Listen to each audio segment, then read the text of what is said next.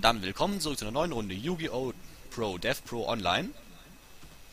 Ja, ihr seht, ich habe ein Samurai-Deck, das gleich mit einer geilen Combo anfangen könnte, wenn das so funktioniert. Äh, ja, wir spielen ein Tech-Duell, und zwar wieder mit. Squamato. Ja, herzlich willkommen von mir. Ähm, die Meldung da unten habe ich deswegen geschrieben, ähm, weil die letzten drei Versuche allesamt nach drei damit endeten, dass der Gegner ähm, ja einfach abgezischt ist und das äh, ja nervt dann. Ich habe noch einen GN auf der Hand, den rufe ich aber nicht, den hebe ich mir lieber auf. Okay. Okay, mal schauen, was er dagegen macht. Hat er einmal mit dem Kopf auf die Tastatur gehauen oder was? H, F und G, L, Ad, irgendwas. Ja. Oh. Hui. Sag mir bitte, dass du, dass du Tempel der 6 auf der Hand hast. Ich weiß nicht, was ich auf der Hand habe. Ach ja, richtig. Woher auch? Und Elementarheldendeck? Ich wüsste das, wenn du nicht angefangen hättest, aber... Ja. Ja. Oh, klar. Oh, die alten! Oh, schön. Ja? Sieht man nicht oft. Das lobe ich mir. Der Haken ist bloß, dass mein Großmeister dem Viech da überlegen ist. Ja, das wird, daran wird der auch gedacht haben. Aber der große Shogun... Oh. Oder so. Ja, oder so. Was hast du auf der Hand? Ähm... Das hier? Nice. Na komm. Das hier? Und soll ich ihm das Fusionstor arschen? Was hast du auf der Hand? Ich könnte mir jetzt das Fusionstor arschen oder seine Verdeckte. Was hast du auf der Hand? Ja, Yaichi oder Zanhi. Ach so. Ja, ich. Oder, Sein. oder, oder Nisashi. Zerstör ihm seine verdeckte Karte, weil ich glaube nicht, dass ein Partner auch was mit Fusionstor anfangen kann. Okay. Ja, ich kann die offene eh nicht zerstören. Wieso nicht?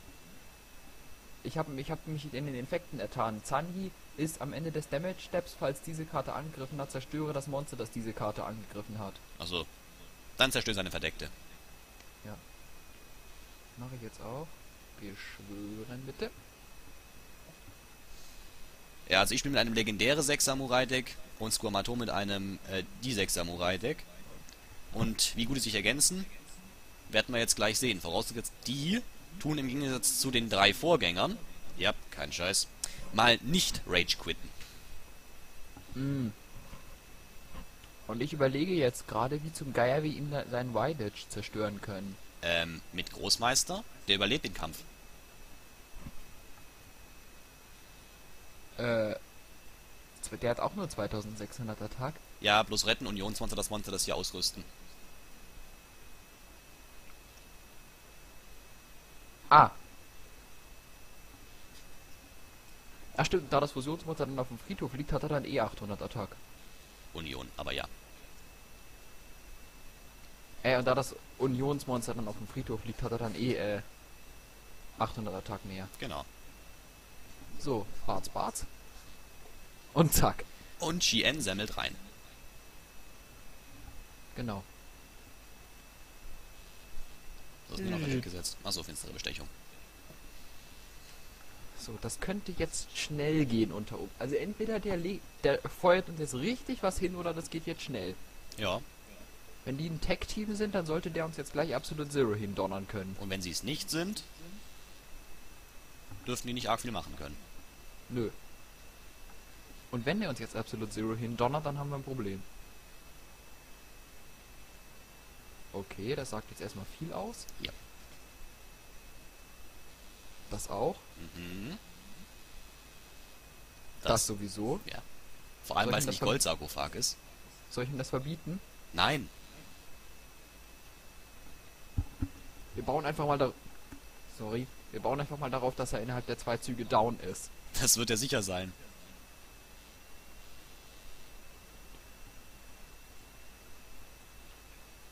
Come on.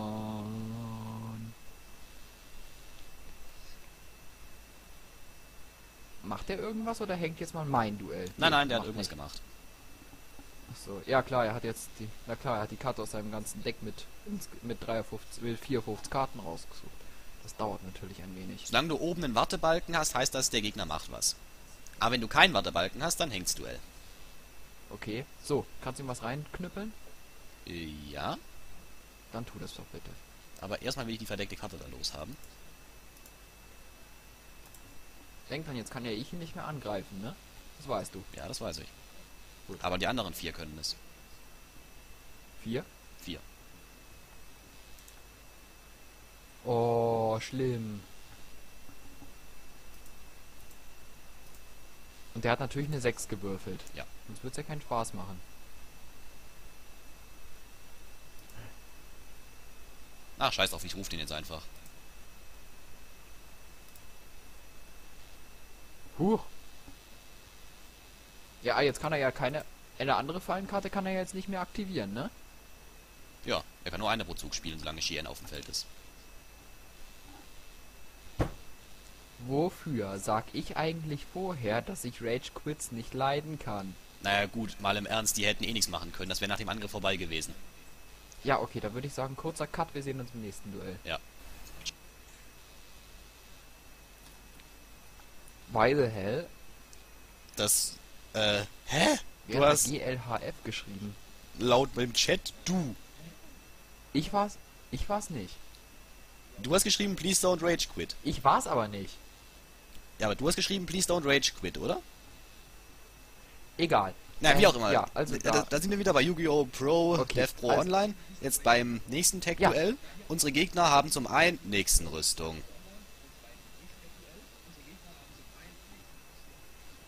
Ah. Äh, und Eisbarriere. Naja, wie auch immer.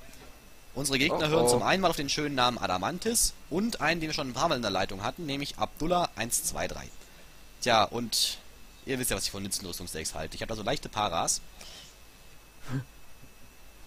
was unter Umständen daran liegen könnte, dass wir mit Dixon Rüstungsduellen grundsätzlich, äh, mit Dixon Rüstungsdingern grundsätzlich verlieren, unsere Gegner, unsere Gegner aber grundsätzlich damit gewinnen. Frag mich nicht, warum das so ist. Das Gute ist jetzt, das ist ein Tag-Duell. Kann sein, dass das Deck von Abdullah, was weiß ich, ihm widerspricht. Mhm. Aber was zum Teufel hat ein Eisbarrieremonster in einem Dixon Rüstungsdeck zu suchen? Naja, Wasserstufe 7. Achso, ja, okay. So kannst du ihm ein bisschen was äh, hinknallen. Am Kann besten gleich das Level 7er Viech zerarschen. das Level 7 er Vieh- Oh, kann ich tatsächlich. Dann tu das bitte. Ah, das ist schon mal schön. Der kann sich nicht entscheiden. Ah, er macht nichts, okay. Doch, er überlegt gerade. Jetzt kann ich wieder. No nuts.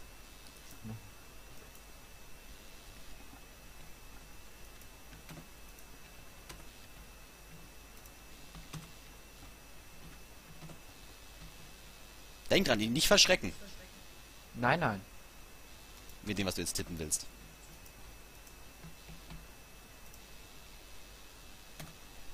Damit verschrecke ich ihn nicht, oder? Äh, eigentlich nicht. Ah, scheiße! Aber damit habe ich zugegeben, dass wir zusammengehören. Fix. Vielleicht peilt das nicht oder denkt, das wäre ein Bug. So wie wir schon ein paar Bugs hatten. Ja. Egal. Jetzt hoffen wir erstmal, dass er da nichts Böses liegen hat. Müssen nicht mal was Böses sein. Mystischer Raumtyphoon wird reichen. Obwohl, mystischer Raumtyphoon hätte, hätte uns unseren Tempel zerarscht. Mhm. Ups. Äh, wenn Spiegelkraft kommt, ist dann unser Großmeister eigentlich auch down? Nee. Okay, oder so. Und ich krieg noch eine Karte. Wie? Achso, ja, stimmt. Hat dir die Karte irgendwie geholfen? Äh, jetzt noch nicht, aber die könnte noch nützlich werden.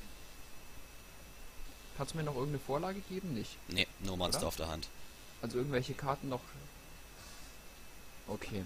Ich habe ein paar Zauber und Fallen. Ich werde jetzt also gleich eine Steilvorlage liefern. Sobald ich dran bin. Jetzt ist erstmal Abdullah dran. Wie gesagt, den Typ hatten wir schon ein paar Mal in der Leitung. Was hat er denn das letzte Mal gespielt? Das ist vielleicht die interessantere Frage. Ich meine, das war der Typ in dem Simochi-Deck. Ach nee, genau, das war der Typ mit dem Pflanzendeck, mit schwarzer Garten und so weiter. Ah, gegen den hast du aber alleine gespielt in einem Duell, das du auch nicht aufgenommen hast. Ja. Hä? Achso, jetzt kommt der Spaß. Ui! Was kommt denn jetzt?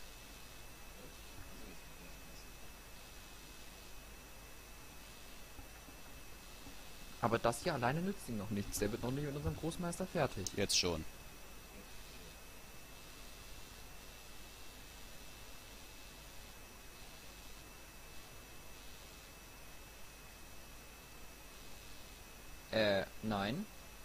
Monster deines Gegners, das mit dem ausgerüsteten Monster kämpft, kann durch Kampf nicht zerstört werden. Und verliert nach der Schadensberechnung 600 Angriffs- und Verteidigungspunkte. Ja, okay.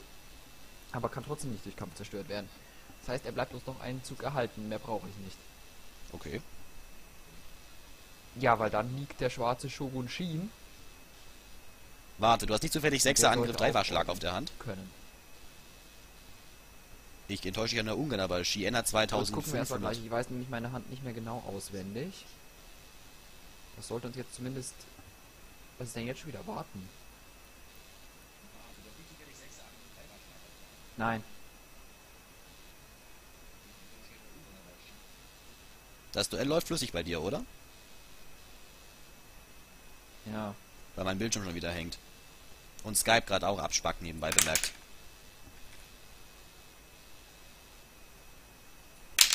Sag mal. Naja, ihr werdet es gleich im Zeitraffer sehen, was da gerade passiert. Ja. Währenddessen muss ich hier Ah, irgendwie rumquatschen, um die Zeit zu das habe ich überbrücken. festgestellt. Also wie gesagt, äh, sobald sich das Programm wieder hat, seht es im Zeitraffer, ich mache den Launcher dicht. Ähm, so, vielleicht geht's jetzt gleich besser. Und Ach so, äh, den hast du vorher nicht dicht gemacht. ja, vergessen. Und jetzt müsstet ihr gleich sehen, ach ja, genau. Was da passiert ist. No, war jetzt nicht so spektakulär. So, du bist wieder dran jetzt, oder? Genau, und jetzt äh, zimmer ich gleich mal richtig rein. Hast du sechs Anf Angriff Dreifachschlag auf der Hand? Oder wieso? Nein.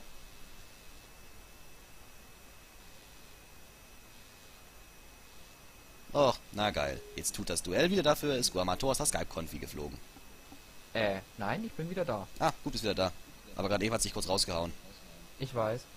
Na, Ähm, so, ich habe jetzt erstmal Verbundenheit, dann habe ich das hier. das könnte praktisch werden. Oh. Und jetzt könnte ich... Übrigens, wenn du mit der Karte seinen gefallenen Rosenengel wieder auf seine Hand zurückgibst, wird er stattdessen aus dem Spiel entfernt. Also das mal im, als Option im Hinterkopf behalten.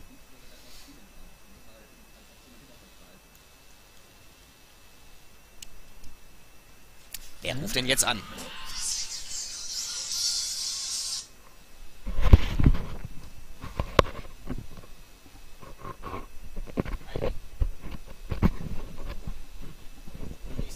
Hä? So, okay.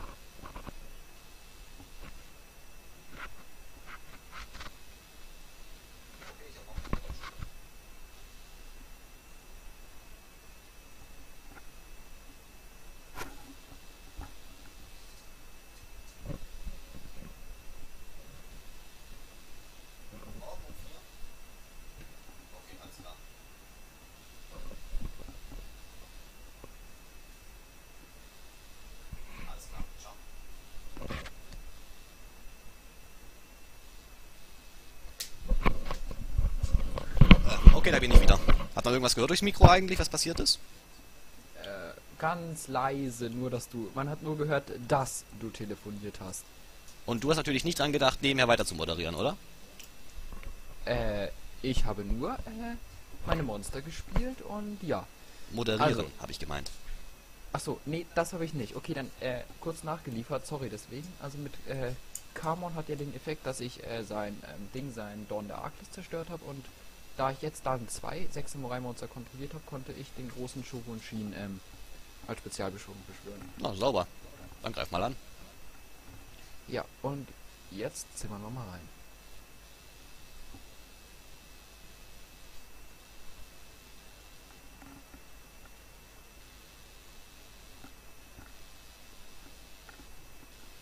Sollte jetzt irgendwas aktivieren, um Shien zu zerstören, zerstörst du stattdessen Kamon, okay? Ja, ja. Bin ich blöd. hat er nicht. Naja, dann kriegt er jetzt mit dem Großmeister eins in die Fresse. So, und ich habe jetzt noch ähm, die Gerissenheit der sechs Samurai und die sechs Schriftrollen der sechs Samurai. Soll ich eins davon setzen? Gerissenheit nach was nochmal? Ähm, lege ein sechs Samurai-Monster auf den Friedhof und wähle dann eins im Friedhof und äh, beschwöre es als Spezialbeschwörung. Bringt gerade beides nichts. Okay.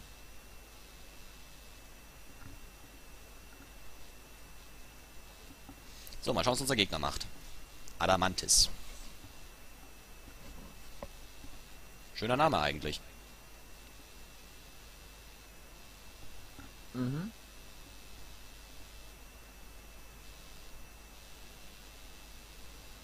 Drachenherrscher? Shit. Der hat einfach ein Level 7er Deck, habe ich das Gefühl. Äh, Level 7 Wasserdeck. aha. Sekunde, ich setze mich mal kurz anders hin. Und das könnt ihr jetzt gleich abfucken. Ja. Was ist da verdeckt eigentlich liegen? Ähm, die 6 Stil Beidhändigkeit, die uns gerade gar nichts bringt. Weil wir zu viel Monster auf dem Feld haben. Jo. Aber sie ist positiv. Sobald uns eins unserer Monster zerstört, wirkt Verbundenheit. Stimmt auch wieder. Oder indem er den Großmeister angreift.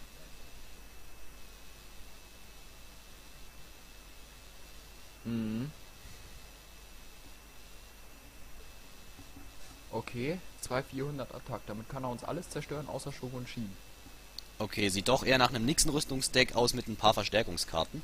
Sonst hätte er nicht Nixon-Rüstungssphäre im Deck. Fakt ist jedenfalls, wir kriegen jetzt ein Level 7er Xyz-Monster in die Fresse und ich glaube, ich weiß auch welches. Und das gefällt mir gerade ganz und gar nicht. Weil mal ab, ganz abgesehen davon, dass dieses Exis-Monster nervt, ähm, ist das auch fast unmöglich klein zu kriegen. Ja.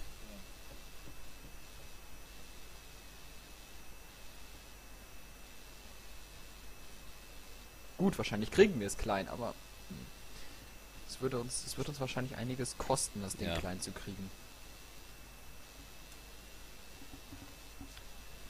Also, Vorausgesetzt, unser Gegner macht mal irgendwas. Das wollte ich jetzt auch gerade sagen. So viel Xyz-Monster der Stufe 7 gibt's eigentlich gar nicht. Da gibt's den Drachos-Sack. Big Eye, äh, großes Auge, Nummer 11. Ja, ansonsten gibt's eigentlich kaum nervige Stufe 7 Xyz-Monster. Und eben das eine nervige Nixon-Rüstungsviech. Genau. Und was kommt? Nummer 11. Mist. Jetzt holt er sich erstmal eins von unseren Monstern. Darf ich mal raten, welches? Äh, nein, weil das weiß ich auch so. Das Gute ist, es verliert dann Angriffspunkte. Ja. Trotzdem verliere ich unseren großen Shogun Schiene ungern. Jetzt bräuchte man so eine Karte wie Siegel des Besitzers. Mhm.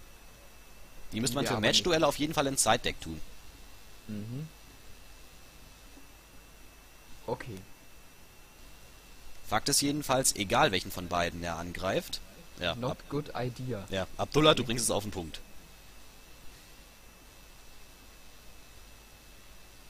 Genau, weil jetzt egal welchen von beiden er angreift, der jeweils andere ist dann äh, richtig mächtig. Oder halt beide, wenn er den Großmeister angreift.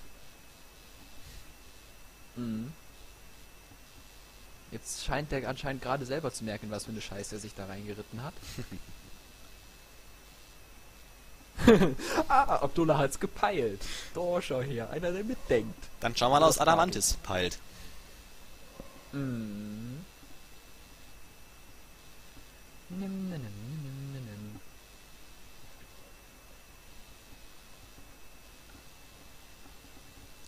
Ja, er hat's gepeilt. Und nicht angegriffen. Ach so, mit dem Großmeister hätte mit Shogun Shin hätte er eh nicht angreifen können. Stimmt ja, da war ja was. Doch, mit Chien schon, aber mit großes Auge nicht. Ja, stimmt ja. Trotzdem will ich großes Auge so bald wie möglich vom Feld haben. Das ist nicht das Problem. Ich weiß, dass das nicht das Problem ist. Ich habe jetzt alles, was ich, was ich brauche, um den vom Feld zu haben.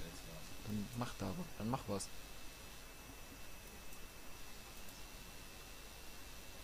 Ja, ja. Denk dran, du darfst nur eine Zauberfallenkarte aktivieren.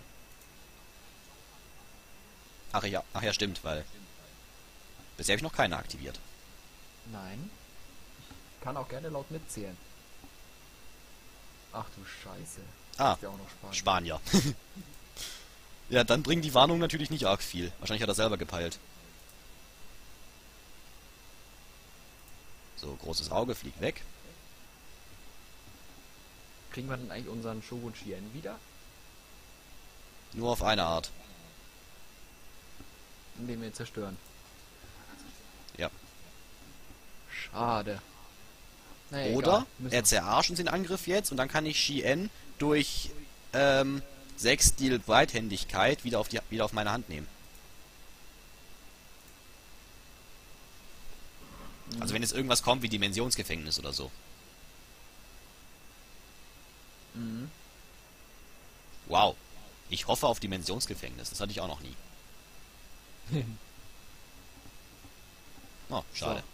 Na, dafür krieg ich eine Okay. neue Karte. Immer das Positive sehen. Oh, und die Karte semmelt rein, die ich aber fast nicht setzen will. Spiegelkraft ist es. Mhm, lass es bleiben. Die heben uns lieber auf. Ja, Noch eine Abyssphäre.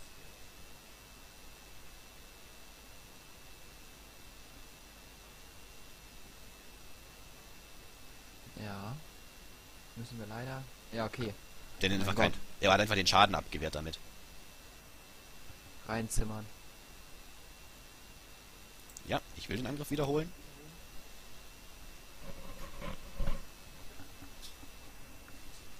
Hast du jetzt noch mit beiden angegriffen?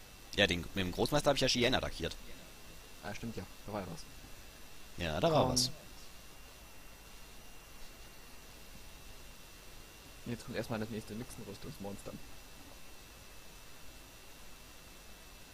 Oder zumindest sollte es kommen, wenn der Effekt nicht annulliert worden wäre. So gesehen ist es vielleicht besser gewesen, nicht anzugreifen, weil dann wäre sein Monster so regulär aus dem Spiel entfernt worden. Mhm. Naja, man kann ja nicht immer, man kann ja nicht immer mitdenken.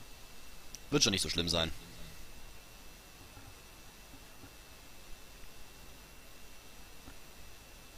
Mhm. Und wenn er uns jetzt ein Level 7 Monster hindonnert, er kann uns fast unmöglich irgendetwas hindonnern, was wir nicht mit Musakani Makatama äh, vernichten können. Ja, weil das einfach jeden Effekt lahmlegt. Ja. Und falls doch? zerstört.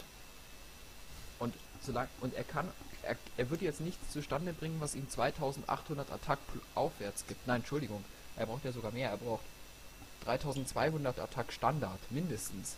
Und das kriegt er nicht hin, Wieso 3200? Weil ihm 400 abgezogen werden. Ach so, stimmt. Dann braucht er... Gunde Entlinde Ach so, Abis Gunde und Abis Linde. Ah, stimmt ja.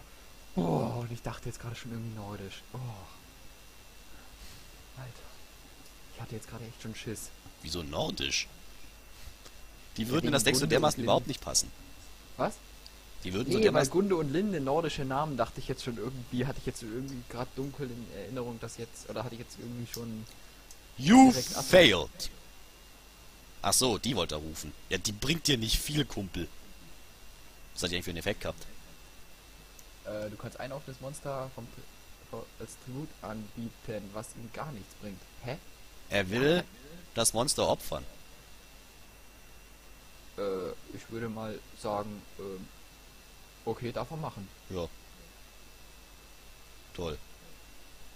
Jetzt können wir unseren Sechserschlag aktivieren. Warte, was hast du alles auf der Hand? Ja, weiß ich jetzt nicht. Auswendig. Ach so. Warte, kommt gleich. Adamantis, du triffst es auf den Punkt. Der Zug war es nicht wert. So, Beende es Also einfach, okay?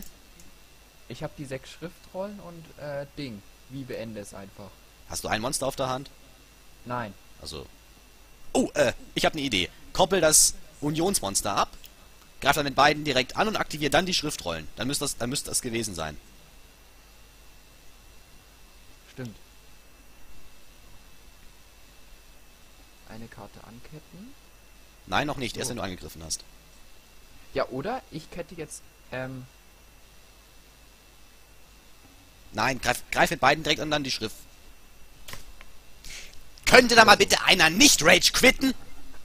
Ja, okay, aber wir sind uns ja einig, wir hätten ihn in diesem Zug down gehabt. Ja klar, es wäre absolut unmöglich gewesen, dagegen irgendwas zu machen. Trotzdem, Leute, Rage Quit ist asozial, kann man nicht anders sagen. So. Und nach diesem wunderbaren Moralappell sind wir auch schon wieder fertig für heute. Ja, dann bis zum nächsten Mal. Ciao.